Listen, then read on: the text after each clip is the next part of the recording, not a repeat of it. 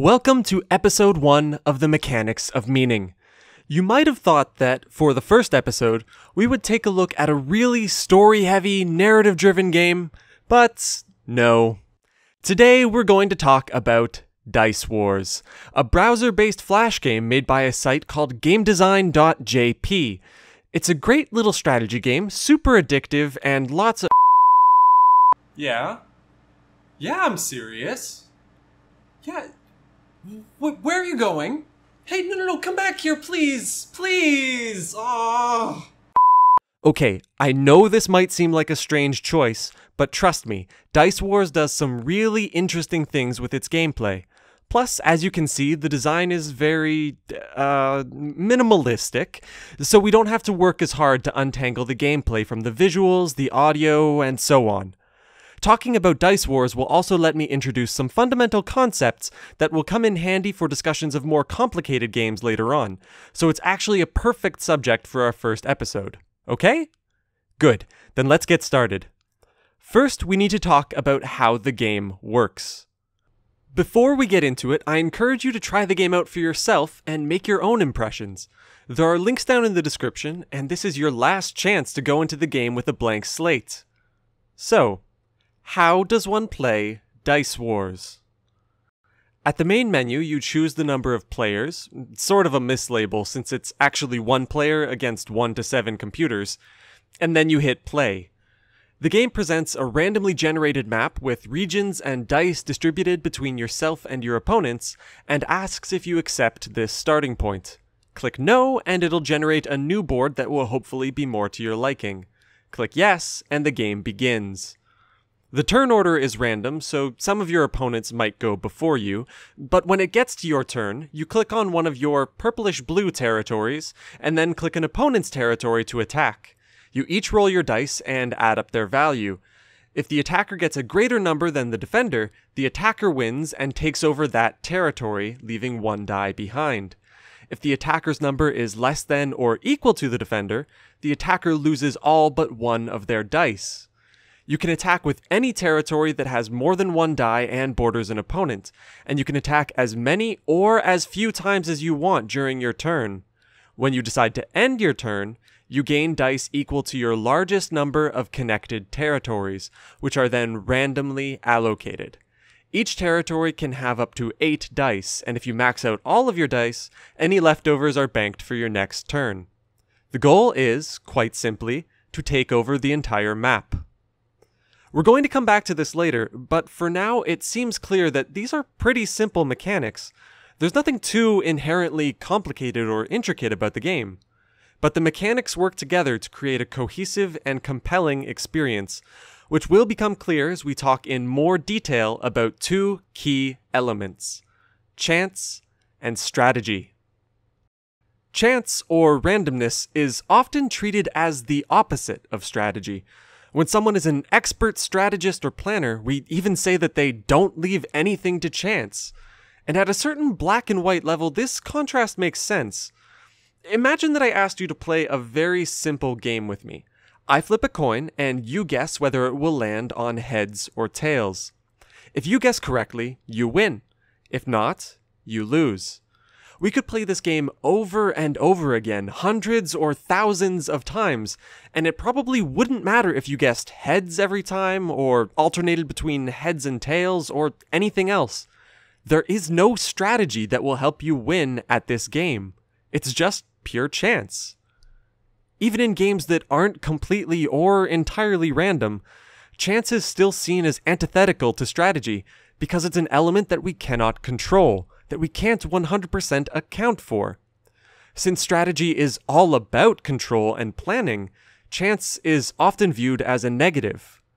We see this a lot in video games with players bemoaning the RNG, or random number generation, that can influence many different parts of a game, like the equipment and items you get, how much damage an attack does, or if the attack even hits. On the flip side, there's a game that doesn't have any form of chance in its game design whatsoever, and it's often held up as the pinnacle of strategy. Of course, I'm talking about chess. Chess is sort of distilled strategy. Every single game of chess has the same component parts, so to speak, the same board, same pieces, same movement. Players can strategize purely based on their choices and those of their opponents. There is uncertainty, perhaps, as to what one's opponent will do, but not randomness. Kurt Vonnegut once wrote a short story called All the King's Horses. It's a compelling story about chess, strategy, and Cold War geopolitics. And I'd like to share a quote from it here, specifically from the character Barzov, a Russian major. It's a very distressing thing about chess, said Barzov. There isn't a grain of luck in the game, you know. There's no excuse for the loser. Dice Wars is decidedly not like chess in this regard, and is very upfront about its incorporation of randomness. Dice is right there in the title, after all, and it shows in the basic gameplay. In chess, if you take an opponent's piece, you always win that battle. It doesn't matter if it's a pawn attacking a queen or vice versa. In Dice Wars, though, victory is almost never a guarantee. Here are the ranges of possible rolls for every number of dice from 1 to 8. Note that victory is literally only guaranteed in two specific circumstances when attacking one die with either 7 or 8 dice. In all other cases, victory may be very probable, but not certain. You could employ the optimal strategy in Dice Wars and still lose. There's a very low probability of that happening, but it's still possible. There are plenty of potential excuses for the loser, as Barzov would say, but Dice Wars is a single player game. You're really only making excuses to yourself. Besides, Dice Wars is still fair. All the players slash computers have the same mechanics for success and failure. It is also still a strategy game. Your plans and choices might not exclusively determine whether you win or lose, but they certainly affect the likelihood of a win or loss. What is strategy, after all, but a series of if then statements? If my opponent makes X move, then I will respond with Y. Even trying to think ahead and predict your opponent's actions just means flipping the script and imagining you were your opponent. If my opponent does Y, then I will respond with Z and then you plan to counter Z. The strategic behaviors in Dice Wars and chess are functionally very similar. It's just that the sources of uncertainty, the ifs, are different. Chess focuses solely on your opponent's choices, while Dice Wars incorporates random chance. Humans generally tend to be better at understanding and evaluating conscious agency and intentions than raw probability. We're pattern finders, after all, and we excel at interpreting or imagining reasons behind phenomena or behavior. Randomness thwarts us because there is no pattern, no agency, no intention, no reason. This is why so many players bemoan RNG in video games. And some of them even jump to the conclusion that the game is rigged against them somehow. That pattern, that intentional behavior, is more readily imagined than chance just not going their way. These ideas and principles will be really important for us going forward because games tend to use both random chance and active decision making in their games in different forms and for different purposes. In Dice Wars, for example, you control your own choices and can predict how your opponents will behave, but the dice rolls are always random. It's important to know and distinguish these types of mechanics so we can evaluate how they shape the game and the player's experience. Specifically for Dice Wars, these factors mean that players will almost never be able to guarantee a particular outcome, but they can affect the probability of successful outcomes as they learn the game and how to strategize, which brings us to our next topic. Dice Wars tells you almost nothing about how the game works. When you start the game, you get two short sentences of instruction that are mostly about the controls, and that's it. Here's a slightly condensed transcript of my description from part 1 of how the game is played. The green text signifies any information that is explicitly given to the player, which is not a lot. Yellow text denotes information that could be reasonably inferred or figured out pretty quickly. Finally, red text denotes information that could be harder to figure out on your own and might take some time to piece together. As you play, and over successive rounds, you will learn more about how Dice Wars works, which enables you to more effectively strategize within each individual round. For example, it can take some time to figure out that you gain dice based on your largest group of connected territories, but once you realize that, it has clear strategic consequences keep your territories together, split up enemy territories, and keep hostages that consume enemy resources without contributing to them.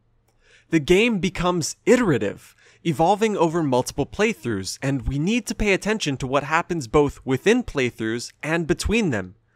Even if your strategy doesn't work in one round, and that specific strategy doesn't apply in the next round, you can still learn things to refine your general strategy and approach, to build a more nuanced library of if then statements.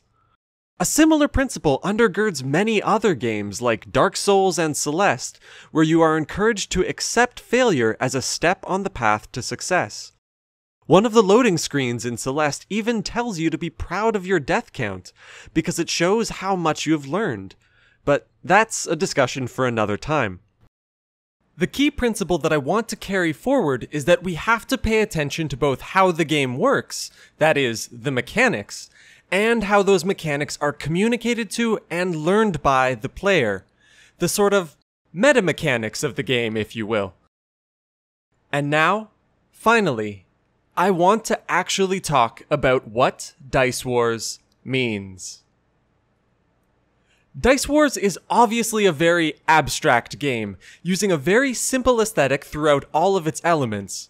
It has a limited correspondence with reality, especially compared to hyper-realistic games, but even compared to something like Civilization or The Settlers of Catan. This abstraction enables or even invites us to interpret how the game could be mapped onto real-life experiences, similar to the function of allegories and fables. It might not be very meaningful on the literal level, but if we pursue a different interpretation, we might find something valuable. So, how would we interpret Dice Wars? The game could probably be interpreted in multiple ways, but the most readily apparent angle is suggested right there in the title War. What does the game seem to be saying about war? A lot, actually, if you look closely. The secret here is to think about elements of the game and what they would correspond to in a more realistic situation, as well as considering why they're abstracted in the first place. To start with the most immediate question, if the game represents an actual war, what do the dice represent? Resources? People? When you lose dice, either from a failed attack or by being attacked yourself, does that represent people dying? Note too that the winner of a battle doesn't actually gain dice, they just don't lose any. The only way to actually gain dice is to end your turn, but there are limits to how much you can gain. Eventually, you have to lose dice or gain new territories in order to have enough room. In terms of specific strategies, remember that ties always go to the defender. This, combined with your limited resources, encourages you to pick your battles carefully, wanton aggression will likely be your downfall. Further, the largest number of connected territories rule promotes coordination and keeping your territories together rather than a divide and conquer approach. The abstraction itself also plays a role. You view the action from an extremely macroscopic perspective, like some indifferent general far away from the battlefield, literally calculating the likely outcomes in your head and coolly making choices. If we could zoom in somehow, maybe we would see soldiers fighting back and forth, killing and dying over the same scrap of land. But the player just sees another roll of the dice. Finally, the randomness that permeates Dice Wars portrays war as chaotic and subject to chance. You could have a distinct advantage in a battle and still lose. You could strategize and execute perfectly and still be defeated in the war. Once again, you can contrast this with chess, a similarly abstract game that nonetheless can be interpreted to reflect on war in a very different way. In chess, war is similarly detached, but far more methodical. There's an art, even a sort of elegance to it. There is no elegance in Dice Wars. Now, I deliberately ramped up the pretension at the end there, because there's a solid chance you aren't really buying this interpretation. It's just a game about dice, you might say. There's no allegory here. You're reading too much into it. If you are thinking that, I have good news. You're absolutely right. Well, sort of. To explain why, I need to talk about the biggest thing that Dice Wars has to teach us. So, is Dice Wars a nuanced socio political commentary on the nature, strategy, and ramifications of war? Or is it a silly flash game about colorful dice? It's both. And probably a whole bunch of other things, too. Each individual's interpretation is shaped by their particular experience with the game. Different individuals will have different experiences, so of course they could have different interpretations. As well, games feature a lot of divergent possibilities, like gameplay choices, dialogue options, and yes, even chance. To portray one choice, one outcome, or one interpretation as superior or more important than the others is incredibly reductive, especially when trying to discuss the mechanics of a game. I'm less interested in any one option and more in the total range of possibilities, along with the fact that a choice was even given in the first place. So we can't just affirm one possibility. We have to affirm them all. There's a concept that I'm going to borrow for this, and I want to give a quick heads up to any physicists watching. I might get this wrong. In my defense, you're watching a YouTube video about the literary interpretation of video games, so I think we might both owe each other apologies. The concept I want to use is called superposition. In quantum physics, the superposition is the sum of possible states of a given system, particularly when its specific state is unknown or unknowable. The most famous example of this is the thought experiment called Schrodinger's cat, in which a cat trapped in a box exists in a superposition of both life and death simultaneously. The superposition is said to collapse when an observer opens the box and the cat is either alive or dead. This is a very quick summary. Uh, if you want a more detailed explanation, there's a link in the description of this video. I use this concept here to explain one of my guiding principles in analyzing and talking about video games. To the extent that it is feasible, do not collapse the superposition. In this case, that means don't pick one possibility as the absolute truth above all others. Of course, when playing a game, you can't help but collapse superpositions all the time.